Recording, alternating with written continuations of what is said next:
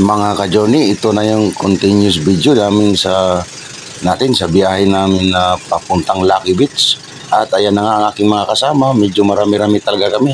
At napakaluwag, komportable sila sa bangka na aming sinasakyan, na bangka ng aking um, malapit na kaibigan dito sa Porto Aplaya. Ayan, ayan, oh, ayan. May hagdan pa yan. At yan nga, lumipat nga ako dito sa harapan. Ah, nakita ko na naman yung angklang malupit. Akala ko tangkab ng ano, eh, tangkab ng napakalaking pusit. eh nga pala, may ginagawa nga pala dito ng anong pier. At napakalinaw ng dagat. Habang kami naglalayag, ayan oh. Linaw pa, napakalinaw. Ayan, yan, linaw. Ang ganda ng mga view diyan sa gilid ng ano, dinadaanan namin sa Maribeles yan. Ayan, patuloy na kami sa aming paglalayag mga ka-journey. Ayan, ayan.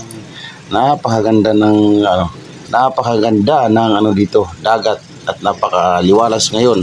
Ngayon ha, maya maya sa kalagitnaan naming biyahe, doon na makikita ang tunay na ang tunay na na alon at hangin habang kami nagbibiyahe mga ka-journey patungo sa aming destination at kami nga pala ayun mag-outing nga at may birthday celebration nga dito sa aming mga kaibigan. Ayan ang aming kasama.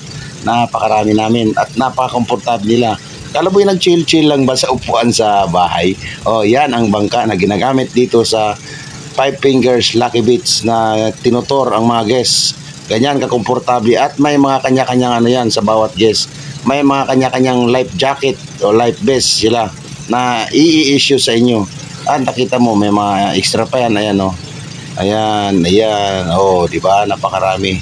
At napakaganda ng dagat dito sa Maribeles, Bataan nga napaka ano linis oo yan no? Uh, napakaswabe ng takbo ng bangka mga ka-journey. Ayan ang tanawin at tinutumbok na nga namin yung bagong pier. Ha? Sana naman huwag na mga anuhin ng piloto ito.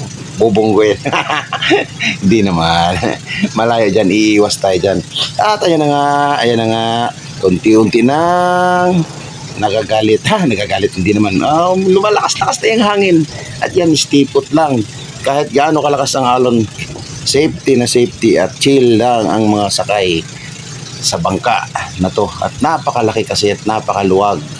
Komportableng komportable tayo dyan mga ka-journey kung sakaling kayo man ang magiging guest dito sa bangka na to at magiging pasahero nila. Komportable komportable at apat yang ano dyan. Kung pagkat sanay crew.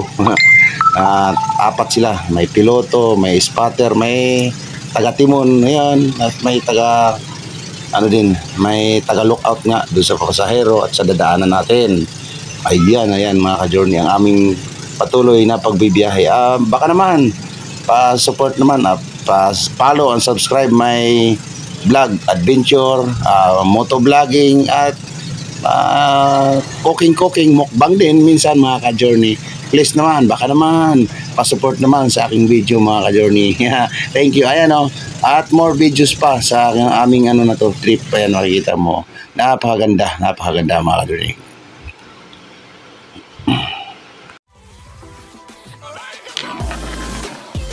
Thank.